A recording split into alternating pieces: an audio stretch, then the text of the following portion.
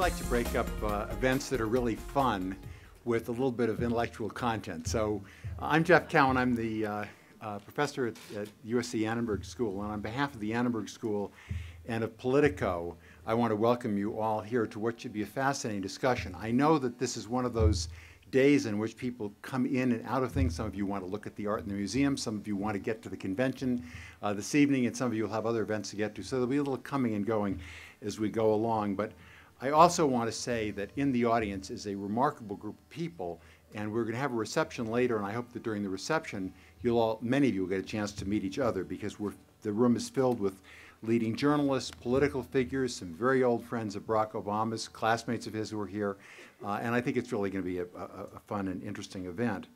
Um, I want to thank the, um, the Denver Art Museum, uh, and I want to uh, make a special thanks to the University of Denver School of Public Affairs and their Dean Paul Teske, who's here, and to give a, a quick, uh, uh, the University of Colorado Denver School of Public Affairs, uh, to, uh, to thank them for being here, and Paul Teske, who's the, uh, who's the Dean of that school, to make a couple of welcoming remarks. Paul. Um, the School of Public Affairs is delighted to be able to co-sponsor this event with the Annenberg School and Politico. Um, the School of Public Affairs is the only comprehensive school uh, of its kind in the Rocky Mountain region. We offer uh, PhD, master's, and bachelor's degrees in public affairs, public administration, and criminal justice. And I see several of our faculty and students here today, and I'm delighted that they're here, and I, I welcome uh, those of you from the convention from out of town. Um, at the School of Public Affairs, in addition to uh, uh, excellent faculty and, and, staff, we have a couple of media rock stars of our own. Um, Gary Hart, who is in the Wirth Chair position in our school, is um, leading an activity uh, called the Presidential Climate Action Project, advising whoever the new president will be on things to do about climate action. He's um, a busy guy this week because he's not only a high-level supporter of Barack Obama, but he's also a good friend of John McCain and apparently was a groomsman at McCain's wedding, so he's kind of an interesting guy for the media. Uh, we also have our own local media rock star, Diane Carman, who was the award-winning columnist for the Denver Post, now works for the School of Public Affairs. She helped put this event uh, and many others around town this week together, and we really appreciate uh, her great work on, on behalf of this. But we're delighted to have this fabulous uh, panel here. Um, just one quick comment before we start. About 15 years ago, um, uh, my scholarly study was in the area of communications policy. I'd go to various events, and that was about the time that the internet was just beginning to uh, take off. People were calling it distributed communications, weren't quite, quite sure where it was going. And one far-thinking panelist said, well, I think I envision a time when citizens aren't just consumers of information, but producers, and they'll be putting out information that we'll all read over this new technology. And I thought, no, that's, that's crazy. I'm not going to spend time listening to some person typing on their computer in their garage or in their pajamas or something. But 15 years later, I, according to my wife, do way too much of that, reading blogs, uh, looking at vlogs, writing occasionally my own blog. And I think it's, it's radically transformed you know, the way that media and politics uh, relate, and I think that's an important topic that I, I, hope we'll hear something about today. At the same time, if I have what I think is a good idea, um, I think about trying to produce an op-ed for the Denver Post or the Rocky Mountain News or something to get it out more broadly to the thoughtful citizens of Denver and Colorado. So I think there's, we're in a fascinating time, a, a brew of different technologies and media uh, approaches to politics, and um, it's, it's very exciting in that regard. On the other hand, we have you know, if you watched the Olympics recently, it seemed to me we couldn't go through in Denver a half hour of the Olympics without negative ads about Skip Udall, about big oil Bob Schaffer, about you know, McCain's houses and whether Obama should have been vacationing in Hawaii. Um, and a lot of people think you know the media coverage ends up being too negative. So I hope we'll we'll get to some of these interesting questions uh, with new perspectives, and I'm delighted to be able to welcome you here. Thank you. Um, let me give you the order of battle for the uh, for the day. Um, we're going to have a talk by Richard Reeves, which we'll uh, I'll introduce in a minute. Then we'll have the panel uh, discussion for about 45 minutes uh, to 55 minutes, moderated by John Harris. Uh, and then we'll open up to the uh, discussion with the audience generally for about 20 minutes. And I do urge you all to join in that conversation, to stay for that conversation, because as I say, in the audience today are people who would, many, many, many people who would be uh, terrific members of this panel. Uh, and then we're going to have a, we're going to follow that with a reception and book signing. Uh, and Cass Sunstein and, and um, Richard Reeves will be signing books. And I think that there are a couple of books that Juan Williams, has leave a little bit early, will already have signed for people. And this session follows one that we had in June of 07, uh, that was called uh, Ceasefire Bridging the Political Divide. And we actually, uh, Margaret Carlson, who's on the panel today, key, played a key role in putting that together. Juan Williams was part of it. Uh, Arnold Schwarzenegger, uh, Mayor Bloomberg, uh, Antonio Villaraigosa, Janet Napolitano, Kathleen Sebelius, and others were part of that conversation. And we're trying to follow that up today by thinking about the implications of the media in terms of the political divide. Uh, Richard Reeves, who of course is one of the uh, great uh, presidential biographers and one of the great uh, political journalists in America, uh, has written a paper which I think many of you got on the way in. If you didn't, I hope you get on the way out. It's this paper which uh, reflects some of his own thoughts on this subject and it condenses some of the comments that were made at that previous session. Please join me in joining in uh, welcoming Richard Reeves.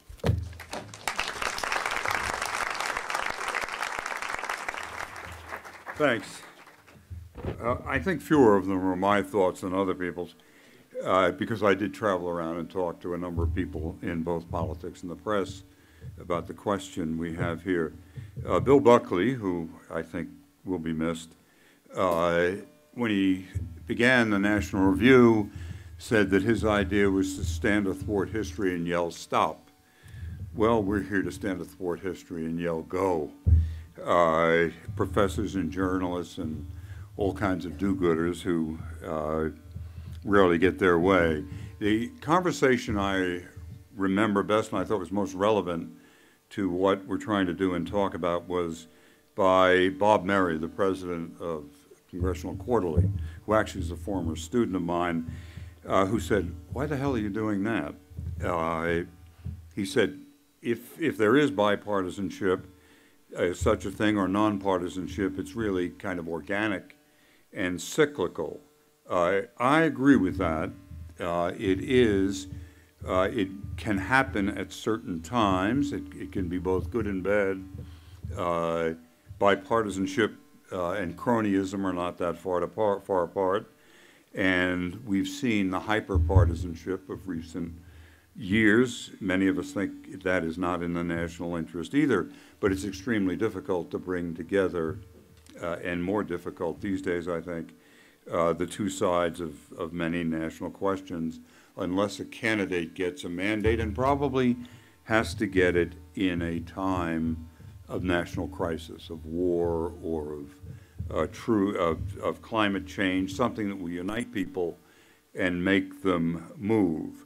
But that does not mean that those of us who are, are charged with watching uh, people with power uh, should not constantly try to push toward that and remind it, which I think is uh, remind uh, public officials uh, what who their real constituency is uh, which is all of the uh, people. And this, to me, seems to be a particularly opportune time in history, uh, partly opportunistic, uh, oppor an opportunity because things have not been going well in some parts of the world, some parts of the economy. But we also have uh, two candidates who, in their own way, uh, represent change uh, Barack Obama is by definition changed. A rasa who, who suddenly appeared on the national scene, uh, and whatever we, whatever he does will change. And if John McCain uh, should win the presidency in the wake of George W. Bush, uh, I think that the odds are great that he will be facing a heavily Democratic Congress and will be forced to try to govern uh, in a bipartisan way. So that as I traveled the country, I talked to politicians and I talked to journalists, and the politicians said that it was the journalist's fault, and the journalists said uh, that it was the, uh, the politicians' fault. Uh, there was Juan Williams, who moderated the Annenberg program, had an exchange with Jay Carney of Time magazine, in which Juan said, Why are you uh, uh, why are you talking about this hyper-partisanship, et cetera? And Carney responded that we're just reflecting what is actually happened. Uh, the, uh, and it has all been driven, as most of life is, uh, by technology, uh, which we're familiar with, the 24-hour news cycle, which means that you don't uh, only say something, it means that you say it every 10 minutes over and over and over again. Uh, how many kitchen tables do you have? Uh, we will go to our graves uh, trying to figure uh, that out. Uh, but that also represents a great democratization uh, of communication. Every, the old expression that freedom of the press belonged only to those who owned one. Well, now everyone who has a cell phone is a network all by themselves, and we have to learn uh, to live with that. There have also been changes, other changes brought on by technologies now is accepted as the jet plane.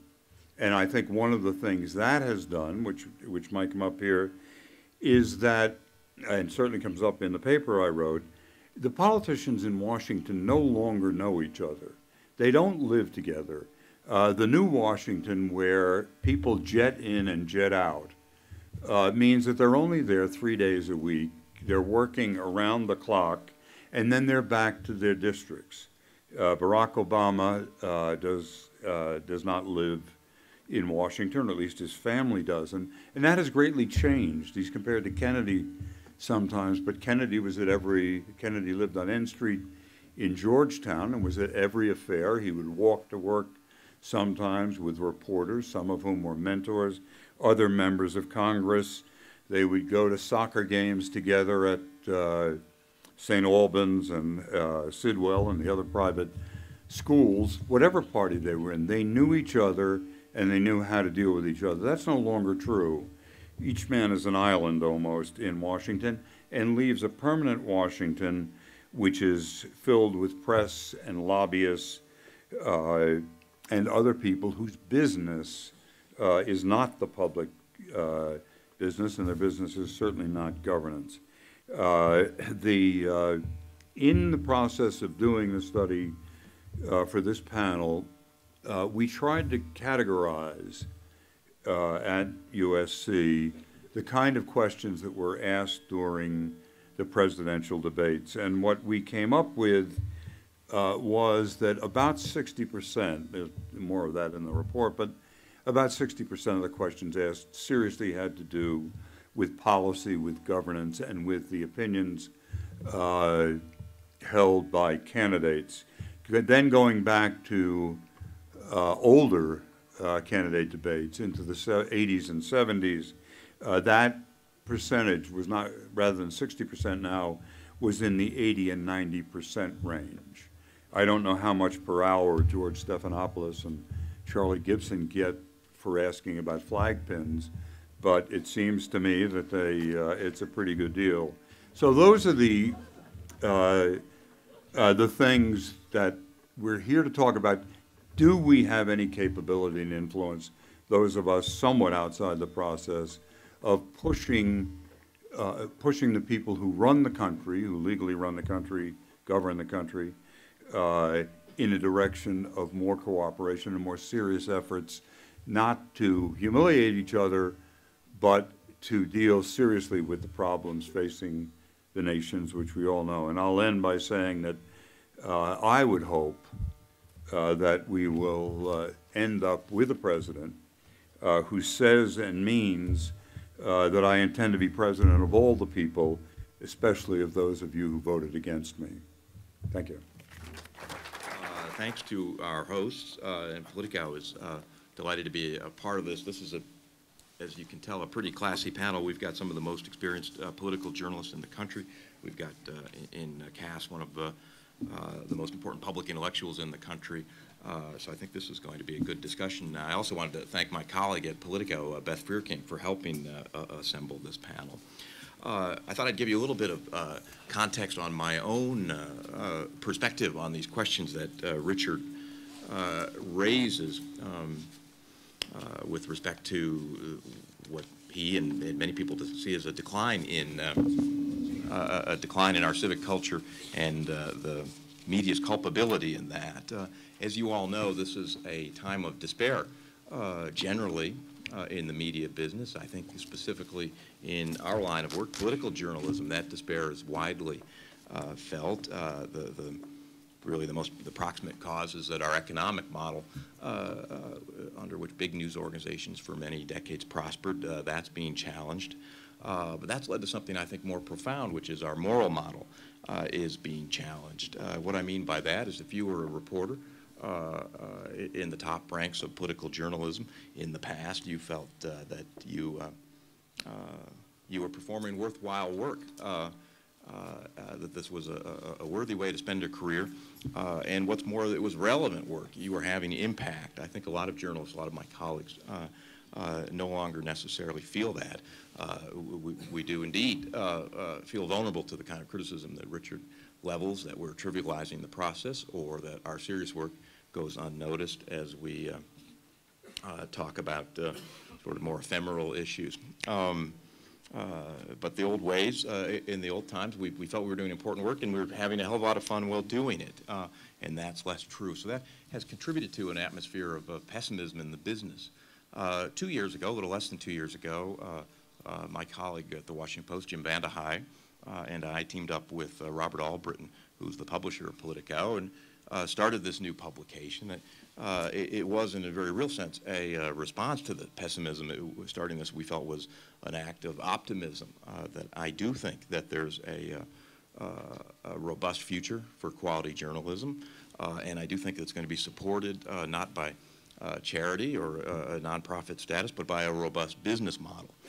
In fact, I think it's essential to good journalism that you uh, uh, figure out a way to uh, be self-sustaining rather than being the uh, the ward of uh, uh, of some rich foundation or, or some rich person.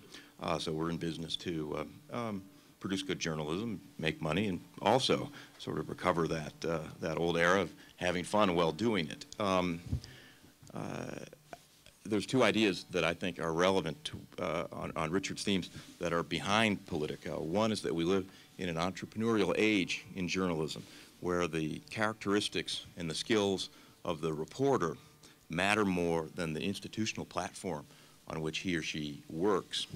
Uh, in the old days, what mattered was where you worked. You could be you're Smith or Jones of the New York Times, and you're important uh, because you work for the New York Times or CBS News.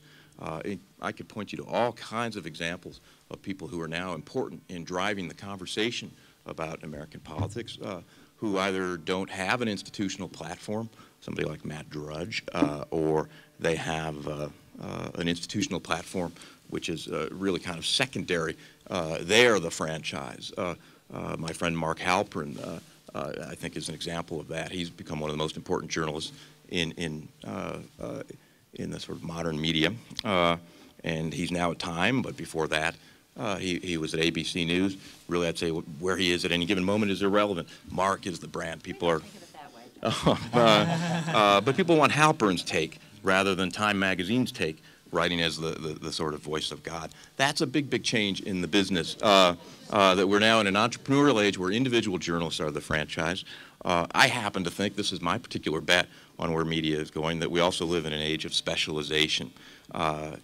In the old days, the New York Times could set the national uh, agenda by the decisions of the front page editor, what's on the, what's going to be there, and that was going to drive the conversation at the networks and uh, regional papers around the country. Uh, who told us what was important? The people running the New York Times or the Washington Post, uh, what they thought uh, uh, was important. In this era, everybody is his or her own editor, and they decide what they're interested in and how deep they want to go. I think that was led to specialization of news sites. Uh, Politico, all we write about is politics uh, and Washington governance. And uh, um, I happen to think that's the future rather than the, the sort of general interest uh, news publication that covers sports and financial news and foreign news uh, as well as politics. I could be wrong about that. That's where we put our chips on the table. So I am optimistic. I, I'm kind of professionally optimistic if you put me on truth serum, and I took a shot of it before coming here, look, the fact is I'm not uh, really all that optimistic. I think what Richard says uh, uh, uh, is uh, is true. That there, it's very much an open question that whether we are sort of meeting our most solemn commitment as journalists, which is to be advancing the, the public interest and enlivening the public debate and illuminating serious issues uh, rather than just uh, sort of creating an echo chamber which trivializes uh, the work of politics. I think that's very much a jump ball. Um, and I think that jump ball is what we're, we're going to discuss today. Uh, but there's no question there, there's sort of profound doubts as to uh, whether the business has got a financial future, and as I say, uh, I think in some sense a moral future. Uh, I think yes, but it's a guarded yes. Uh, with that, I thought I would turn first to Karen, who is a representative of really the kind of one of the classic traditional news organizations. In some sense, it's the sort of polar opposite of Politico. Uh, to get your take uh, briefly on this, Karen, and then turn to Cass, who's written the book, uh, uh which uh, really delves in a lot of these themes, whether the new the, the, the new trends in news media are in fact sort of eroding the middle ground on which democracy depends. So, Karen, tell me, are, are you having fun and are you doing worthwhile work? Well, it depends on what week we, we're talking about here. Um, but it is true that in the past, it's amazing how short, can you guys hear me okay? This time frame is, but just the last 18 months, my job has changed so much. Um, because we are trying to figure out how to make the business model work in an environment where people don't get their information off of slick glossy pages, and not as many people are buying advertising to do it that way. And I, it really sort of came home to me because Time started having a bunch of us blog last year and made the decision that we were going to attempt to engage the blogosphere on its own terms, which meant we opened the whole thing up to comments, which means you get the full flood of intensity that you get in the blogosphere. And I actually uh, try to go down and, and interact with the commenters because I, I've decided that if there's any way that this model is going to work in the future, and we're going to have to sort of meet the web world on its own terms, which means it's going to be interactive and there's going to be a lot of give and take. But the degree to which my own job had changed really came home to me on uh, at the end of January last year, where I got this phone call late at night from Teddy Kennedy's people, and they said Ken, we all knew Kennedy was going to go out and endorse Barack Obama the next day, and it was going to be a very, very, very big deal at American University. So they said, Would you like to be the only reporter behind the scenes? We'll take you backstage, bring a photographer, um, so you can do a story on this for the magazine. So, of course, I jumped at it. But the event happened on a Monday morning. Our magazine did not hit the newsstands until Friday night.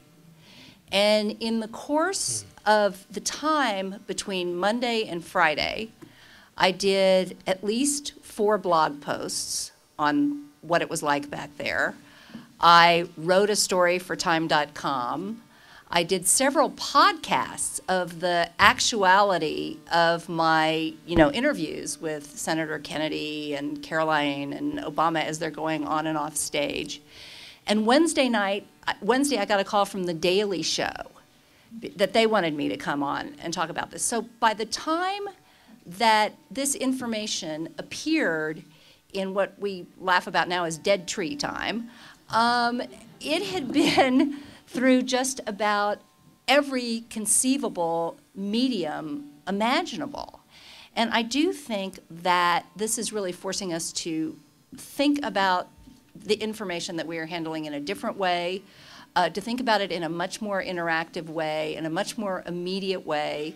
You know, I don't know that, that these mainstream media institutions are going to be the ones who actually figure out how to get us to the other side of the River Jordan here, but I, I'm convinced the other side is there, and somebody is going to figure it out. And, you know, in the meantime, it's, you know, let a thousand flowers bloom and we'll, we'll just see where it goes. But it has, it's also changed the nature, I think, of our interaction with our sources. Because, for instance, a few months ago, Barack Obama got on his campaign plane wearing blue jeans. You know, this is not a very big deal, except that when the entire back of the plane is populated with these generally 20 something young journalists who have these little tiny cameras it became a huge deal because these people had never seen Barack Obama in blue jeans before. And it was like there was a riot breaking out in the back of the plane as they're all climbing over there.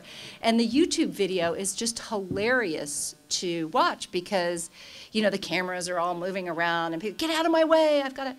Um, and so I think in some ways, knowing that every single act is going to be caught that way and all over the web that way the second it happens has really, in some ways, made it a lot harder for those of us who, you know, think of, of ourselves as analysts of information as opposed to just raw purveyors of information to do our job. And I think that that is one of the reasons, by the way, that you are seeing sort of the trivialization of things even as hallowed as presidential debates.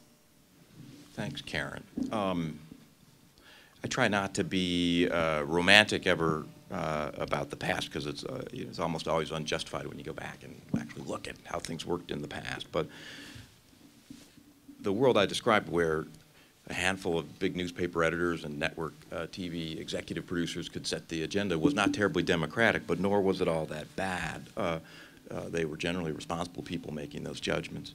Uh, and they did give us a, a, sort of a common set of facts and assumptions around which to argue. Uh, and it seems to me that's one of the things that has changed with the proliferation of news media. That uh, uh as everybody becomes his or her own editor, they gravitate to places that uh, that um, feed them the kind of interest, uh, the, the, things that they're interested in, but also accept their, their uh, uh, ideological and cultural prisms. And what you have is people talking to each other rather than talking about a common set of facts. And uh, that, to me, is something I'm concerned about. And Cass, I'd like to you to uh, give your own take on that. Uh, how big a concern of that, is, and how much of this is is just hyperventilating the you know. Okay. I'll, I'll, tell you about a little experiment involving Colorado, actually, and maybe I'll ask you to guess what would happen. Uh, we got people in Boulder together uh, to talk about three issues uh, civil unions for same sex couples, climate change, and affirmative action. And we wanted them to record their views anonymously and privately before they talked to one another. That was step one. Step two was to deliberate together, if they could, to a group verdict on those issues. And step three was to record their views privately and anonymously after they had talked. We wanted to make sure the Boulder people were liberal. Uh, we thought they probably would be, and we had a few little tests. We asked them what they thought of Vice President Cheney. and if they liked him, they were cordially excused from the experiment. Uh, on the same day, actually, we did the same thing in Colorado Springs, which is conservative place. We had them to dis discuss exactly the same issues for a period and have these three stages of, uh, of views recorded. What do you think would happen to people's private anonymous statement of views after they talk with like-minded others? Okay, Here, here's what's ha what happened. Three, three things. First, the people in Boulder began by liking an international agreement to control climate change. After talking to one another, they loved an international agreement to control climate change. The people in Colorado Springs didn't much like affirmative action when they started. After they talked with each other, they hated affirmative action, thought we should get rid of it yesterday. Uh, the people in Colorado Springs didn't much like same-sex civil unions, but after they talked, they thought this was uh, the most ridiculous and horrible idea they'd ever heard. So they got more extreme. That was the first thing that happened. The second thing that happened is they got much more uniform in Boulder and in Colorado Springs. I've seen the tapes, and some of the people in Colorado Springs said, well, you know, same-sex civil unions, maybe that's okay. And some of the people in Boulder said, I'm not really that sure about climate change. How serious is it? Uh, after they talked to one another, they were in, in, lockstep in Boulder and in lockstep in Colorado Springs. As a result, the gap between the two communities widened very dramatically. Um, we wanted to say something, to learn something about what happens in a communications universe in which people are able to sort themselves into communities of like-minded types. So we think on the internet that something like our Colorado experimenting, our Colorado experiment is happening every 10 minutes of every day as millions of Americans are going to the communication sources that they like and trust most and basically listening exactly to that. Not just with respect to points of view, by the way, but also with respect to topics. if you compare the universe that I'm describing, which was described in the mid 90s with great enthusiasm by an MIT technology prophet, uh, with enthusiasm, he described it as the daily me, that we can construct a daily me that's just us, uh, you, that's just you. It's your communications universe, the one you like. Uh, uh, if you compare the Daily Me, which really is kind of what we did in Boulder and Colorado Springs with the old media, uh, there are three things that are lost. One is serendipity. So with Time or Newsweek or even Fox News, even with its political orientation, you can get brought up short a bit by a point of view or a topic that you never would have included in your communications universe. Serendipity is lost by the replacement of what we might think of as, a, as an architecture of serendipity with a new architecture of control. The second thing that's lost is mixing. So if you can construct a communications cocoon, as many bloggers do, by the way, as they jump from one like-minded site to another, uh, you can uh, you can ensure that there isn't mixing between Colorado Springs and Boulder, that it's just the types you like. So mixing is lost. On New York Times, even though it has, I guess, basically a liberal bent, there's a significant degree of mixing, and the same is true of uh, most daily newspapers when they're doing their jobs. The third thing referred to is the uh, disintegration of a shared communications culture. Now, th that disintegration isn't only lamentable. It has some values too. It gets a lot of information and facts and perspectives out there in the in the world. But the loss of a shared communications universe does uh, present some problems. It sometimes makes it difficult for people to understand each other. Sometimes their views of their fellow citizens are contemptuous. Sometimes outrage becomes the currency of the realm. And I'll just close by saying if it's the case that our Colorado experiment does replicate what's happening for millions of Americans, then there is a terrible warning there where by, after the experiment was done, the people in Boulder really thought the people in Colorado Springs were um, not just wrong, but either horribly confused or actually acting from bad faith. So as at the result, at the end of our little experiment, accusations of bad faith became uh, pervasive. Done. Thank you. Interesting. Uh, let's, let's, go to Margaret and then Juan. Uh, Margaret, you're kind of like me. You got sort of one foot in the old media. You know, I, I my most of my journalistic values come from the 21 years uh, I spent at the Washington Post, but here I am in a new media venture, and you've been at Time and elsewhere. But you, Bloomberg is, in its own way, is a new media venture. I think pretty profitable one too, from what I've read. Uh, one of the few places expanding. Uh, I think I'm old media because I'm old, but um, mostly because I'm old. Are things that dire? What do you make of all this? well, I, when I get up in the morning, I now do different things than I did 10 years ago. When I go to the doorstep and see the newspaper, I think it's yesterday's paper. I have it in my bag here. I may or may not finish it, but then I, the, the, the next thing I do is go to Real Clear Politics to see if my column's been picked up and who else is there. Uh, and then a couple of blogs, and maybe I'm watching Morning Joe. But the paper is the least of it because it's old. Um, and your Colorado Springs and Boulder people, I think, are the epitome of cable TV, which drives so much which is it's when I get a when I uh, uh, hosted Crossfire, um, my friend Michael Kinsley and I would often get said into our ear, "Could you get a little angrier?" and the truth is, neither one of us have that much of the angry personality, but even 10 years ago on Crossfire, that was what was needed.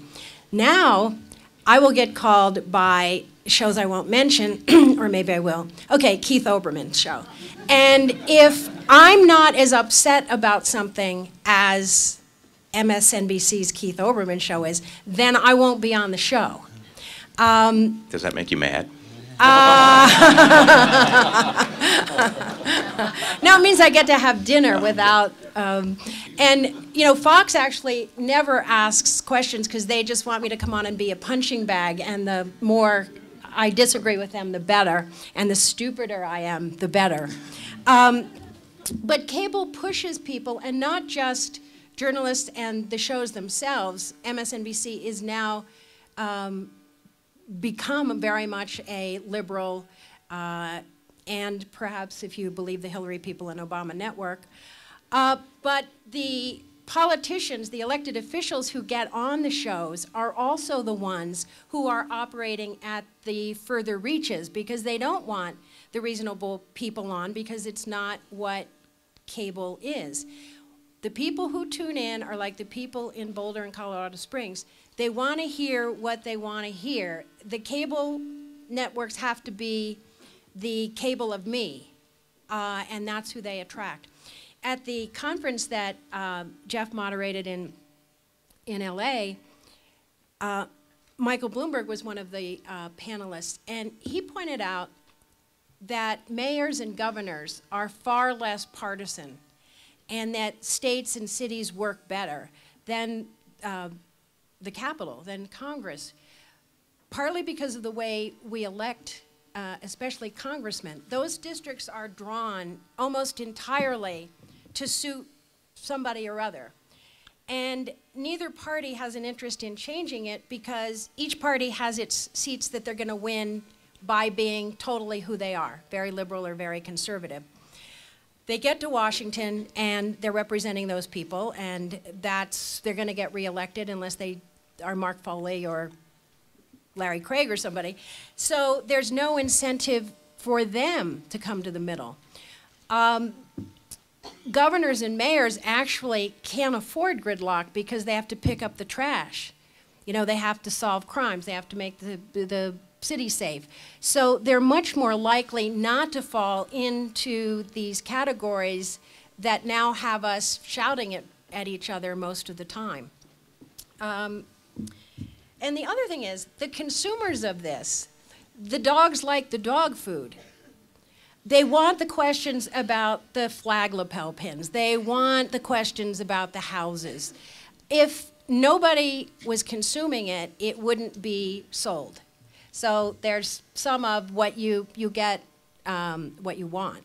Uh, and otherwise, would the cable, would these cable TV stations put it out? I, I don't think so.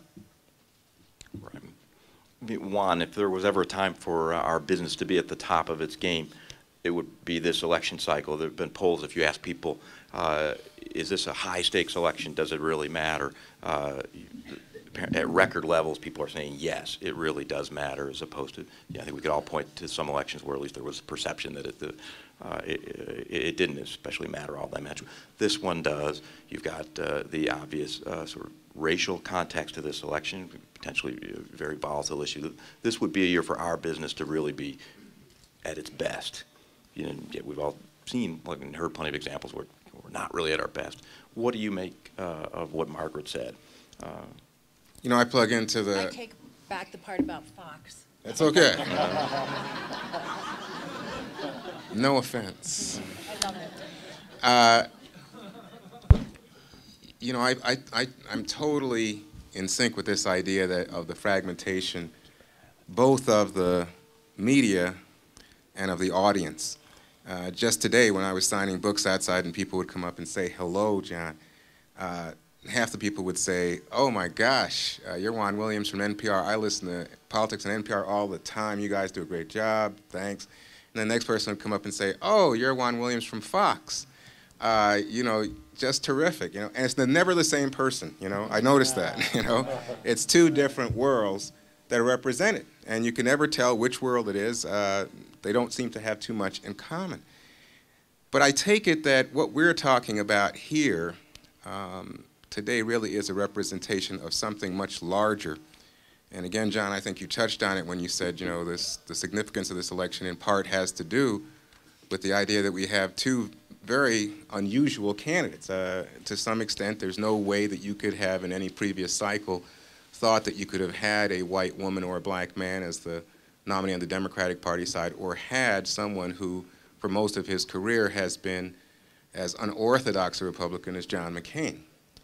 Uh, and I think that's evidence of the large degree of discontent in the society, people saying we're on the wrong track in general, uh, close to 80%, but also something that uh, strikes me as much more significant, which is the tremendous rate of demographic change taking place in the society. So that right now, um, you come into a, a, a, demographic where there are lots of young people who are extremely interested in politics and seeking that intense change. Uh, I'm always knocked out by the idea that, in fact, uh, I think it's over a quarter of the American population is under the age of 18. Uh, you know, Margaret and I just can't understand it, but it's true. And uh, when you start to talk to those young people about politics, uh, their sense of uh, idealism shines through, and it shines through with a certain degree of conviction. it's not that they feel as if they don't know enough to the contrary, they think that the old folks are too partisan, too stuck in their ways, too racist, uh, too indifferent to the quality of our air and environment, uh, not understanding uh, how you go about diplomacy instead of uh, taking up military arms. So that generation, I think, is looking for its information in different places in different ways. When I ask people, uh, if I'm on a college campus, hey, where do you get your information? uh, people say to me, oh, you know, I turn on the radio in the morning. Unfortunately, they don't say NPR, but they say things like Howard Stern or, or Imus or, uh, you know, some morning shows. Could be everything from gospel music, uh, you know, to the sports guys or whatever. They get information there. They talk about information that comes for them during the day in the course of things like Rush Limbaugh, Oprah Winfrey. Uh, then at the end of the day, they're talking to me about uh, the cable channels as a prime source of information. And here you're getting everything from Olbermann to O'Reilly, uh, these personality-driven shows. And of course, the personality-driven shows occur within a context of niche programming done by CNN, Fox, MSNBC. Um, and every little niche, every little audience has its niche and has a specific appeal in the way the story is told. We have literally, from the time I got involved with journalism, gone full circle. We've gone from Walter Cronkite, who I viewed, you know, when I was a little kid as sort of a trusted, neutral source of news. We've gone from that concept of Uncle, Uncle Walter, we've gone to O'Reilly you know, and if everybody says, oh yeah, well, you know, the kind of the cranky, highly opinionated, feisty guy who wants to fight about everything, gods, gays, guns, every fight that you can pick, he wants to get on it and he wants you to know what he thinks and what he thinks drives the show much more so, as Margaret says, much more so than what any guest. The guest is there simply as a foil for the lead personality. So you get this very interesting fragmentation of the audience and of the shows and this is the world, this is the new world media. Now, on a very serious level, which is what we had done in Los Angeles, we talked about, well, what impact does this have on American politics in terms of the hyperpartisanship that has been on display? And you get politicians like Schwarzenegger or Bloomberg or Janet Napolitano who work across political lines. And one of the appeals actually coming from both McCain and Obama is that they say they're capable of breaking that partisan gridlock in Washington. I don't know because obviously campaigns drive people to be more partisan in order to establish that base, to maintain the base. But when you stop and think about what is going to actually end by, uh, create bipartisanship and the, the, the, the gridlock, most often in Washington these days it comes down to, it's unbelievable to me, but it seems to be self-evident, big business. Big business says, wait a second, we've got a problem with health care when the cost of health care is driving us out of business or becoming prohibitive, and we need you guys on Capitol Hill to come up with some reasonable solution. Big business will say, you know what, we need immigration reform. And even when you get the Democrats, the Republicans, and the Chamber of Commerce all working on it, still they can be thwarted by sort of grassroots populism that will oppose immigration reform, but they're the ones driving to try to get something done if you talk about the environment, I can go on with these issues where it's big business that's trying to create positive social change in a way that I think uh, might surprise some people. So in this campaign, when you say, well, is the media doing a good job? I go with what Margaret said. The dogs like the food. They like this niche partisan approach that appears uh, from their radio shows in the morning through Oprah and Limbaugh in the middle of the day to the cable channels at night. That's where people get their information. That's the way they seem to want it these days. It grieves me, and I guess you oh. too, John, that the Washington Post is not the, you know, when I, I pick up the Washington Post because I'm a big Washington Wizards and Washington Nationals fans. My son, when he wants to know sports scores, he goes to the internet. And I say to him, well, what about all the other sports news? Well, he doesn't want to read about any other teams. He just wants his news. That's the story today, and uh, I think it's leading to the demise of so many of our big American newspapers. I want to toss back in a second to Cass, because several of the things you said uh, sort of naturally beg a response from him. I uh, wanted to just make one aside, though, of, to me, one of the, at the practical level, one of the most frustrating ways about the, of the uh, frustrating things about the change of the news cycle isn't the ideological, uh, it's just how it's shredded our attention span. I can point you so many examples of like serious journalistic enterprise that should have had big and lasting impact and in an earlier era would have, would have basically reframed our assumptions uh, uh, you know, about this particular race.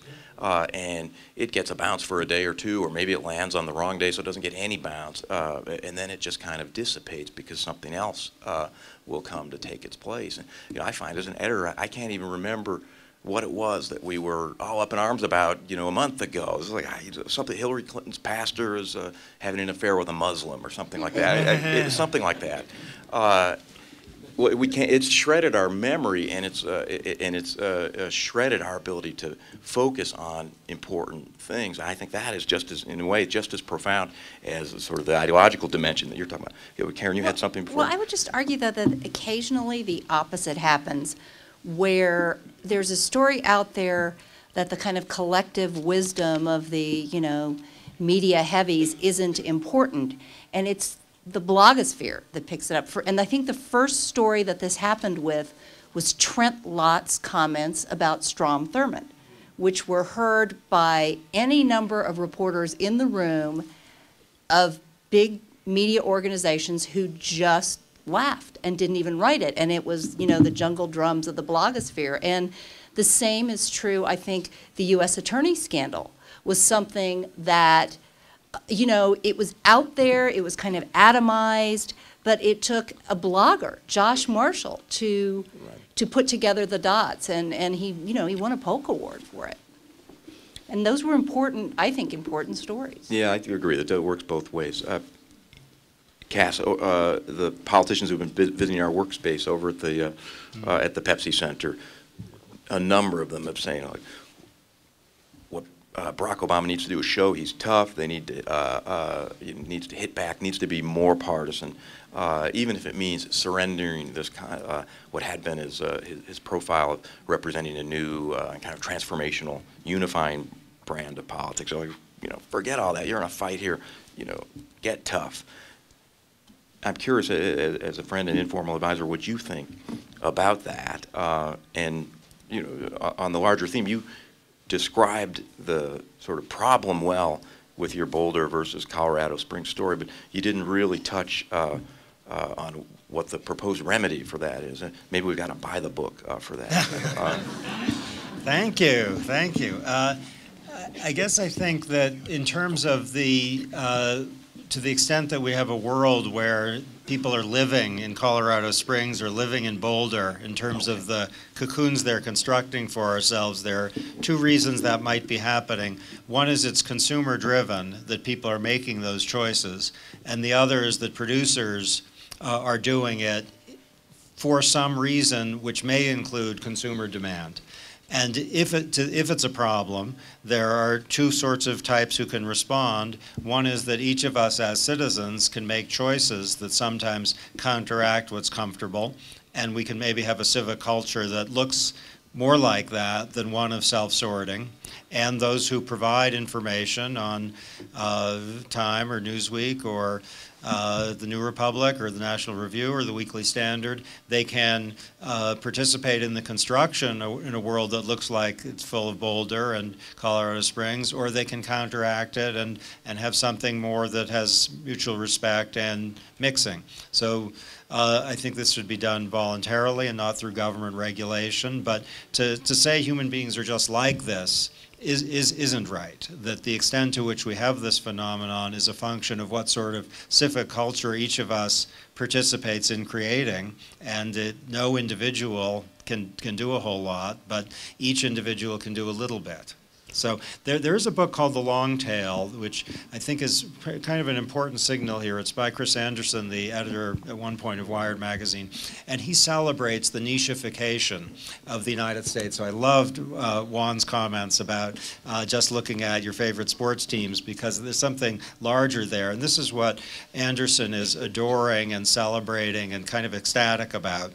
And there is something to it in terms of learning and convenience. But what he's lost sight of is the democratic aspirations that nichification confounds. So if we see the long tail as what we're celebrating, rather than something more like James Madison's very different vision of a national republic where there's a lot of heterogeneity and lots of people are jarring together as what we're celebrating, then we will, what we, what we celebrate, what we construct depends on what we are, uh, what we want to celebrate, yes, what our values are, as well as the economic. These interact. That gets us directly to Obama. And I don't have any particular political advice for my longtime colleague. He seems to know a lot more about that than his colleagues at the University of Chicago Law School do. But I uh, do have something to say about what type he is.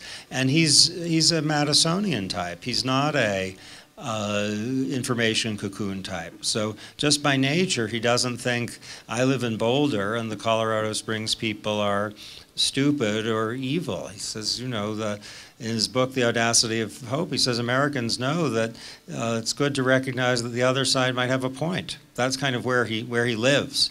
So, uh, what would help his electoral prospects? Who knows? But, but usually, when people aren't themselves, uh, they look like they're not themselves. And his self really is not a red states, blue states, McCain's horrible. That's, that's just not him. Right. We're going to open it up in just a second to uh, audience questions. I, I was going to just, in a way, bounce off of something Karen said, uh, uh, you know, about looking at the, uh, the, the sort of more upbeat nature of these trends in media, uh, because they are there. I do think tends to be, Karen, it tends to be people like our generation who like have the most uh, sort of furrowed brows about this because you know we're looking at another 20 years in the business and things are rapidly changing and we kind of like the old way and we're comfortable in it and we're not so sure we're comfortable in the new way. Uh, for younger people, and I, I've hired a lot of younger people as uh, the editor of a new publication, I find like they just don't uh, wring their hands and, and furrow their brows over this subject. They kind of, and I think many of them say, "Ah, we're sort of overreacting." Uh, you know, this stuff comes out in the wash, and yes, things are maybe the debates sort of more hyper partisan, but uh, people are also have their own filters about it and can kind of sort out and reach sensible judgments about things. Uh, that's generally in the context of where's our, our civic culture going, specifically within the context of journalism. Uh, and I do wonder about this because people you know, send me resumes, want to be hired, and I'm like, you're 23. Like, why do you want to get in the news business? Like, what, what, you know, are you sure? Uh, and they're totally sure, uh, and, and they're correctly sure because the reality is the breakdown of the old order in uh, media uh, has uh, led to a big proliferation of opportunities uh, uh, for younger reporters. And, you know, even at Politico, we've got people who are, like, in, say, Ben Smith covers the Democratic race for us, or Jonathan Martin on the, in the Republican race. They're in their late 20s, early 30s. I think anybody would say, well, they're among the most important people uh, I think the campaigns would say that themselves would say this. They're driving uh, a lot of the conversation about national politics. Under the sort of traditional world that I grew up in, they'd be 10 or 15 years away from uh, having equivalent positions uh, uh, where they're the, the, the, next Dan Balz at the Washington Post uh, or the next Adam Nagourney at the New York Times or something like that. So, I mean, look, we're in this era of massive fluidity, and you know things tend to work out pretty well. Is my own kind of uh, sort of bias on this, I guess, but I think it's a bias supported by some evidence. Jeff. Uh, We're going to take this to the floor, and I'd like people to, we have microphones over here. We are taping this, so it's much more helpful if you're out of mic. If you can line up with the mics. Before I call on people mics, uh, I want to thank Juan Williams for being a part of this. Juan, thank you so much. I know you have another, you have to get on the air in a few minutes, so Juan, please join me in thanking Juan for being part of this. You know, I wanted to say one thing about old media and young people. Um, the Olympics is the, the first recent event in which young people realize that there's something really nice when everybody around the water cooler has the same reference points. They don't know what that's like. And it's so good. You're, you're, you, you don't have to explain because usually they're watching something on MTV and I may be watching something on, I don't know, the History Channel, or not that high, but something, something lower, much lower. But nonetheless, we're not watching the same thing. So it's a wonderful thing when that comes back. Uh, I also want to ask people to introduce themselves. I mentioned earlier, we have a remarkable audience here, and if you would introduce yourself before you ask the question, uh, please go to it. George? Uh, George Vradenburg, um, a former uh, CBS, uh, Fox, uh, and Time Warner and AOL for just history's sake, now retired. Um, I'd be curious about the interplay of the forces you described with the business models, because my impression is still that the evening news in the aggregate, the three of them, will out um, rank in terms of actual viewer numbers cable channels. That in fact, Time Magazine and Newsweek will still outrank in terms of aggregate numbers the number of people who read blogs. Uh, but you know, the economic model of cable television is different from advertising-supported broadcast television. Do we end up in a world that is in fact stable, where you have some balanced media which exist and some opinionated media still exists, or does the business model end up driving the balanced media out? That is, to what extent does the business model, uh, different business models of these different media, uh, going to have an impact on uh, which of the particular mix of media continue through time. Somebody want to take that? John, you're, you've got Outside a my pay grade, above but- my pay grade. But John, you've got a business model, so maybe you could talk about that for a second from your perspective. I think just as we've been talking about how much noise and static there is in our, our daily sort of journalistic dialogue, uh, advertisers face that same challenge. How do they get their message, whether it's to buy cornflakes or to, you know, uh, you know, support ethanol or, uh, you know, clean coal or something like that. Everybody who has a message of any kind uh, as an advertiser faces a real challenge in breaking through and being heard. I think that makes sites in which it is very easy to identify the interests and char- demographic characteristics of who is reading that content much more compelling from an advertiser point of view. And uh, I do think that uh, uh, uh, casts a shadow on the evening news. And, you know, they do have large audiences, uh, and demographically they're, they're older audiences. So we get a lot of ads for Depends, uh, um, you know, on, on the CBS News or, or, or something like that. I don't mean that frivolously, but it, I mean, it, it's, or entirely frivolously. But it's true. And I also think in terms of the phrase we use at Politico and we uh, a lot, and we give a lot of thought to it, uh, uh, uh, is how to drive the conversation. And by what I mean by that is like, oh, did you see that story? Did, or what about this? Uh, to both drive what people are talking about and, and even if you can't drive it to in very real time reflect what people are talking about. And small news outlets can have a much a very disproportionate impact on what's driving the conversation. It is rare these days, I would say, as myself as a political journalist, maybe Margaret and uh, Karen have a different view of it, that that the any of the three evening news uh, uh, uh, broadcasts are driving the conversation. Like, oh my gosh, CBS led with X uh, tonight, uh, and that's not really. I mean, in a way, that's not surprising. I think Reader's Digest is still the, probably the biggest publication in the country or the world, but it's not very often. Oh my gosh, did you see that? Uh, you know, piece on Obama uh, in Reader's Digest. It's just not how it works. You'd be much more likely to, did, gosh, there's something new up about Obama on Talking Points memo, and that would be driving the conversation. And if it drove it vigorously enough, it might then wind up on CBS News that night. Before calling the next person, let me just say that part of the business model is what drives, uh, what drove the CNN producers to say to Margaret, can't you get angrier? And what drives what's happening at MSNBC. There is an element of the business model, it's not the only element of the business model, which probably drives us toward the extremes which Cass was talking about too. Uh, Next, uh, next question. And please introduce yourself. Yes, hi. I, I am Nancy Zirkin with the Leadership Conference on Civil Rights uh, in Washington. It is a coalition of, of over 200 organizations, very, very diverse. We see a huge polarization in the media, how our issues are treated, as well as in the communities um, i- uh, in terms of issues, especially immigration, one, uh, single-sex marriage, two, and affirmative action, three. I'm fascinated with all the comments today, and I'm especially fascinated because I have spent the past two days doing panels and other things in the big tent. And that's, that is the tent where there are 500 bloggers, and um, there is a stage, and it's not as fancy as this. And it's very informal, but all the blogs are there. And so it's a, it's a way in for our communities. The problem is, is that as you all have pointed out, everybody's talking with each other. So that my question is this, do you all see how it is possible to integrate both the traditional broader media, which is very, very important, and this new media. How can this bridge be gapped so that we all benefit? Thank you.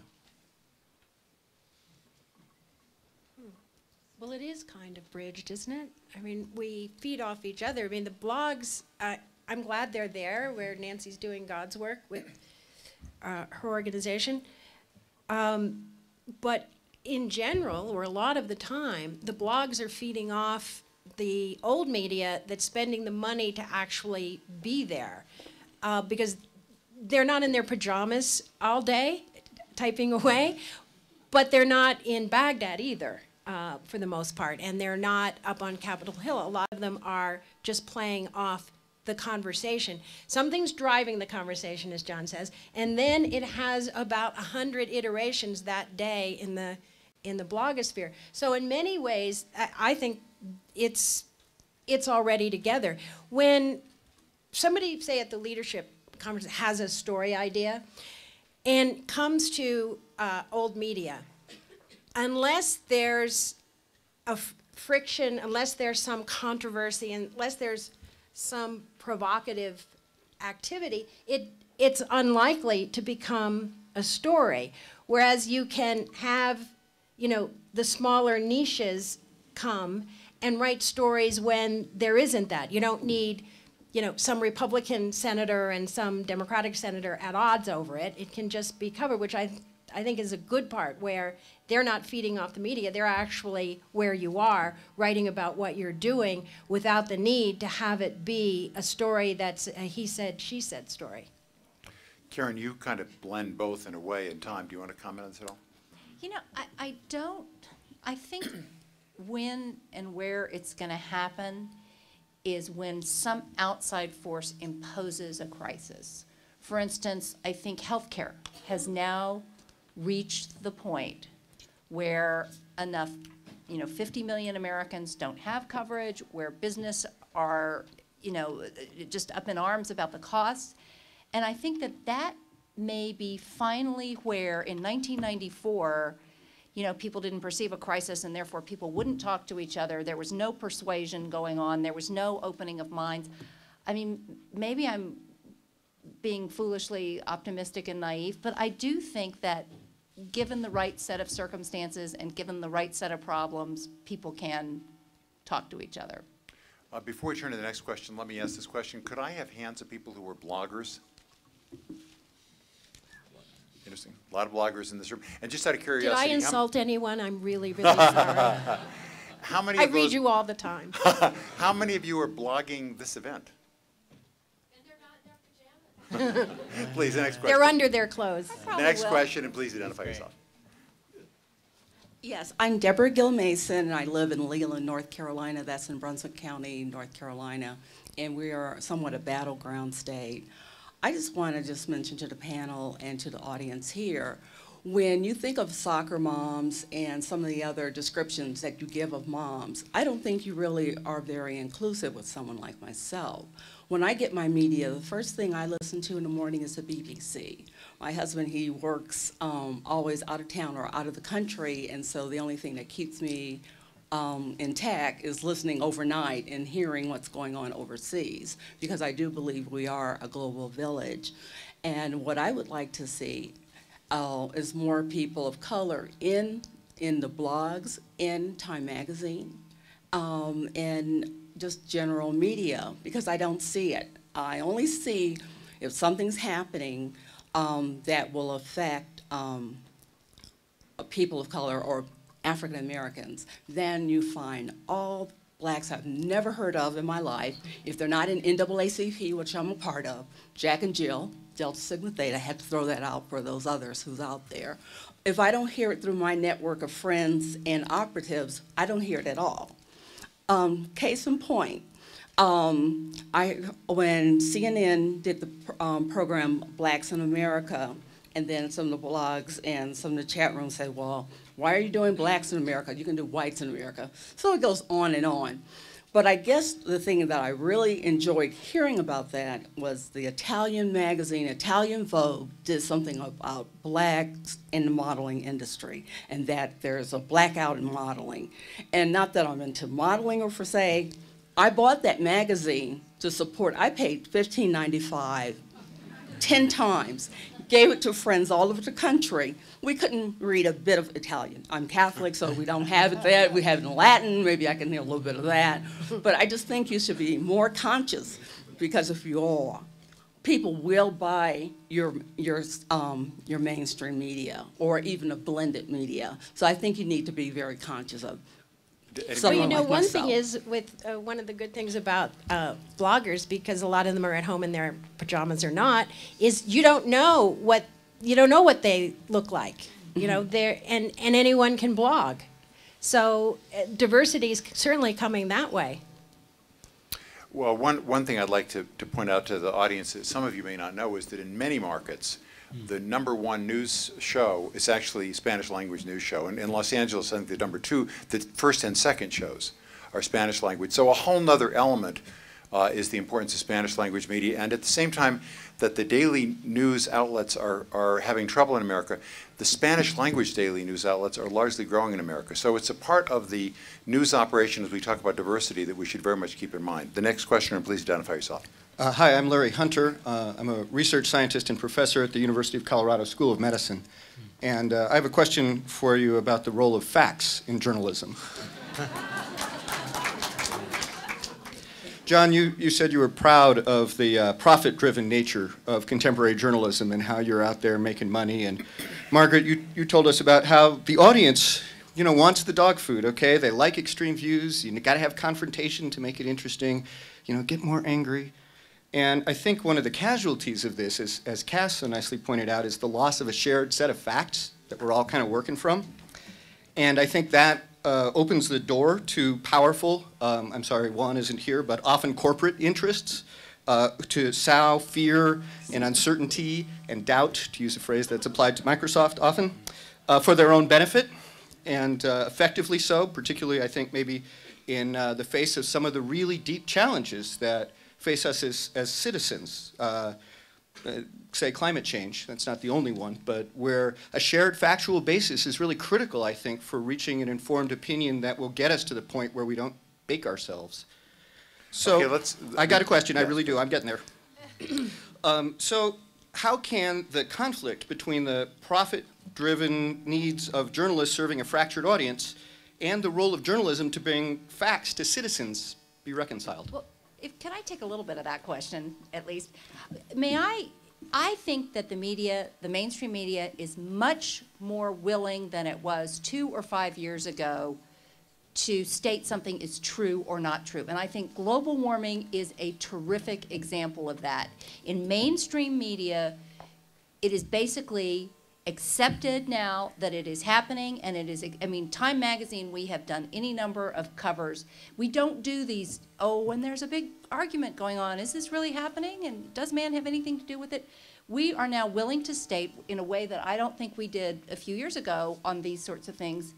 It's happening, scientific consensus has arrived there, and what are we going to do about it? I think you saw the same thing with the New York Times in the very emotional debate over vaccines and whether they had any sort of connection to autism. I, I think the media is actually doing a lot better job. All the amount of fact checking that is now going on about political advertising, where, where reporters are willing to say, he's lying, is, is I think, have, has come a lot in the far, very far in the last few years. I think there's a really profound point you're making, that- and I'd like to put the spotlight on the new media rather than the old media, where the spread of falsehoods in an instant among very large groups, this is unprecedented in the history of the world. And climate change is, is one, maybe the most dramatic example, where many millions of Americans believe things, and th- these are smart people, by the way, and uh, patriotic people who, because of the information sources they have, believe things that are preposterous. That's maybe the, the, the poster child of it. But with respect to things that that Senator Obama believes and did, and things that Senator McCain believes and did, hundreds of thousands or millions of people believe things that are ludicrous. And this is, I, on balance, the internet, in my view, is a very good things for, thing for democracy. But this is really destructive to the effort to, you know, have a, have a civic culture in which we govern ourselves. We only have a few minutes left, and what I want to ask people to do, I'm going to try an experiment here, and that is to ask people to come up and just state very briefly what your question is. Everybody who's online here, and then we'll have answers to the thing as a group. Before that, let me say that Andy Kohut, a great pollster many of you know, uh, has given talks in recent, the last couple of years about how, for the first time in his history, at least, that he knows about in polling, they're finding that people are making decisions based on different sets of beliefs in facts, what they're convinced is facts, not just different opinions. The people are convinced of facts that are different from one another, and whatever the reason for that, or whether the media or something else, or the internet, it is a, it's a, it's a serious question for democracy. Uh, one sentence question from each of you, and then we'll have answers from the group. And identify myself? yourself as part of the question. Uh, my is Alan Silberberg. I'm the CEO of U2Gov, which is a social networking site for politics. And um, in, in short, a very short question, there's a lot of energy and excitement about how new media is attracting young voters to the political system, but there's not a lot of discussion on how those people are going to be kept. So I'd like to hear your input. Okay, next. Okay. Um, so my name's Ian Henry. I'm from Occidental College. I'm originally from Colorado Springs, and I have to tell you, I appreciate your anecdote about the cocoon effect because I'm one of five Democrats from the city. um, but uh, but on to my question. Um, so my, my question. I hope this isn't me just being young and optimistic, um, but I'm wondering. How much is this uh, uh, hyperpartisanship that, that we speak of reflective of the times? So uh, many would say that the current administration is far less moderate and far more ideologically uniform than the previous administrations. And given the cyclical nature of the presidency, I want to know in the future, is Fox News going to look more like MSNBC? Is this just, you know, um, reflective of the times?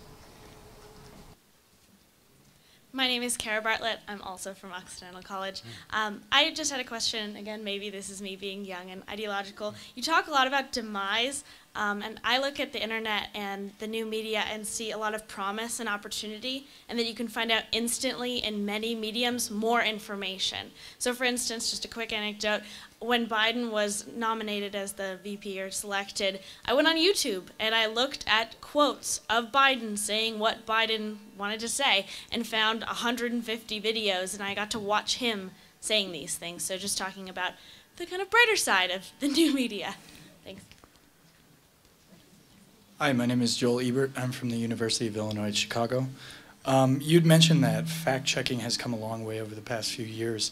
Um, with that, uh, you look at the different perspectives that we have in the coverage of the Iraq War. The mainstream media, I think it was argued, they were complicit in how we entered the war. And I would still argue that the coverage of it now has not really changed. I think in order to find the reality of the war, you have to turn to the independent media. You, you have to look to sources like Jeremy Scahill, um, you know, alternative sources. So with that in mind, um, can you really say uh, something about the state of our coverage and, and, and war coverage specifically? I'm thinking, uh, are we getting the entire That's, story? that's as many semicolons as you get. Are we getting the entire story with Georgia and Russia? Because I don't think we are. Hello, my name is Silvana Nagib, and I'm a lawyer from Chicago. I'm also a blogger um, at the blog. I don't know if this is, it's a little vulgar. It's called Bitch PhD. Um, and uh, my question is directed, my question is directed towards Professor Sunstein. I actually read your paper when I was in law school, I think, and maybe it's newer than that. And you talked about uh, the, the cocoon effect of having these blogs, so conservative blogs or liberal blogs where like-minded people gather, and the way that that detracts from the discourse. But what about um, the way that it adds to our civic discourse intellectually? Because by bringing people who are sort of on the general same page to talk to each other, they can refine their views and increase their knowledge rather than shouting at each other from across the aisle, which happens in a lot of places where people find themselves on complete opposite sides of the spectrum.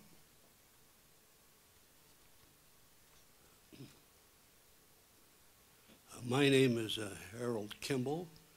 I'm a retired civil engineer and bridge designer from Chicago's South Side, the hometown of Senator Obama.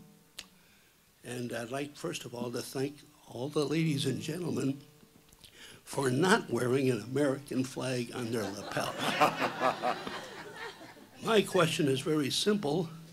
There are a lot of us Americans who are really fed up with the Guantanamo program and the School of the Americas. They're an abomination. They're contrary to American ideals.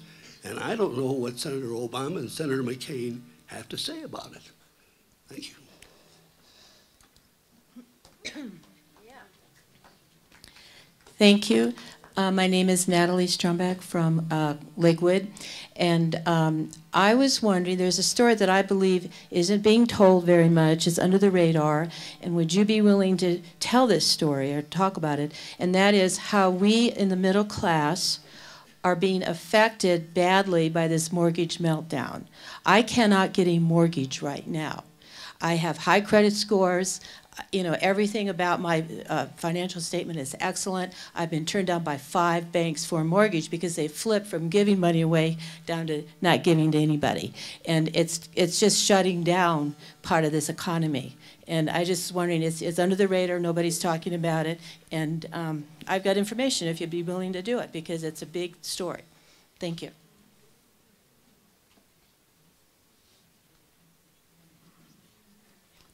Hi, I'm Susie Coyle from Topanga Canyon.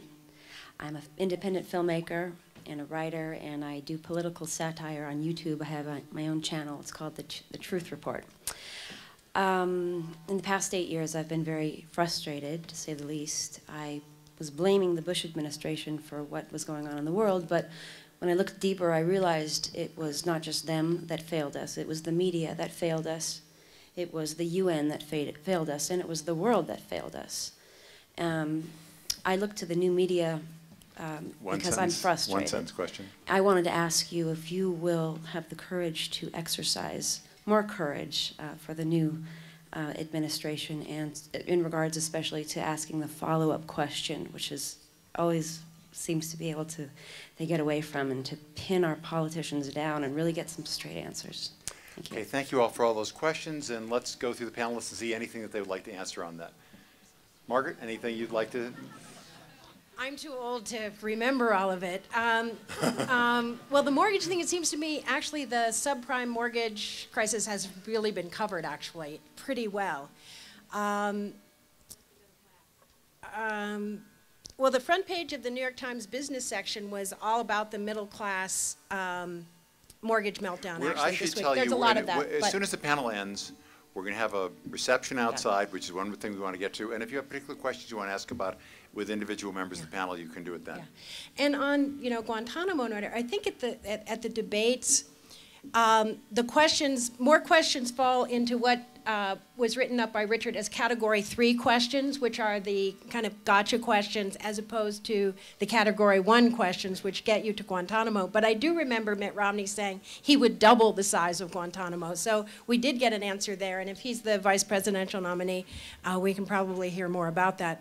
Um, and, you know, about getting at the truth, I mean, I started out working for Ralph Nader, and then I went to law school, and then I became a journalist because I thought it was a way to do that. So I don't think, like, nobody goes out to write a bad book or make a bad movie. I don't think journalists go out not to get the story. And the Truth Report uh, person who, who asked that, I would just say that no one has a bad heart about it. Um, we try. Thanks. Karen? I do think there's a, a misimpression, and there are three of us, all of us have been White House reporters at one time or another, uh, where you see what goes on in the briefing room and you assume that that is what covering the White House is, um, when in fact, I hardly ever used to even bother to go to the briefings because they really are theater. The, the really hard questions, I think, do get asked. You don't always get the answer, but I do think they do get asked. And I can point you to, you know, yes, the New York Times blew the run up to the war, but McClatchy got it right. Um, you, you know, Charlie Savage won a Pulitzer Prize for, for going down and really looking at, at how the Bush administration was working in the bowels of the bureaucracy. So just because it's some, sometimes, you know, you're watching the show on TV and the, the briefing looks like a, a bunch of nitwits, um, there is good, solid reporting. And there are going to be people who get things wrong, but there are people out there who get things right. And I think it's up to the consumer to reward the people who are getting things right. And, you know, right now McClatchy, which got the war right, is having massive financial problems. So. Cass? Okay, they're great questions. Uh, I love the point about the promise and opportunity of the internet, and while we've paid attention to its unfortunate side, this should not be overlooked. The unbelievable ability of people to get, if they're curious, topics and points of view that are unfamiliar. That's, uh, that's uh, that's new and great. Uh, the suggestion that the hyper-partisanship of the last few years might be temporary and a function of the times, that's a very interesting speculation. I think the trend lines are inconsistent with it, that each person's capacity to create a daily me and to self-select into uh, a very comfortable place, uh, that's not going to go away. And uh, it would be unlikely if the architecture of control that we now have doesn't create uh, a kind of permanent hyper-partisanship.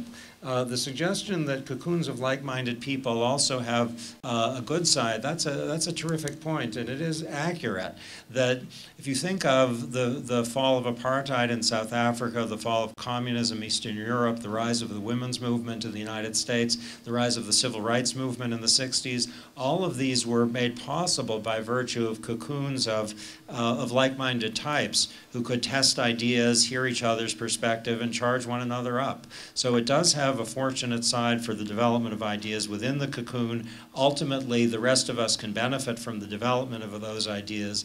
The fear is the existence of simultaneous boulders in Colorado Springs, uh, if they don't meet, uh, can create an absence of mutual understanding which is destructive rather than productive. I think these can both, both be true. Um, uh, on Guantanamo Bay, well, we know uh, Senator McCain is good on torture. Did anyone in the room ever think that we'd be able to say with some enthusiasm that a presidential candidate is actually good on torture? Uh, that means he, doesn't like it. He's against it. Uh, Senator Obama is terrific on torture. He's really strongly opposed to it, and he would close Guantanamo Bay. Thank you. Yeah, and I wanted to go back to a question even uh, just before the uh, the lineup uh, on uh, the relationship between the sort of profit motive and journalism. I may not have expressed my point with the uh, precision I wanted. First off, I've been in the news business 23 years now, a couple decades of that at the Washington Post and a couple of years on my own. And it's literally true that not once during that period not once, not ever, had I ever, from an editor or a publisher or a colleague, uh, had the question of, uh, well, we should do this story or we should not do that story because of how it would affect our uh, advertiser relationships. It just doesn't work that way.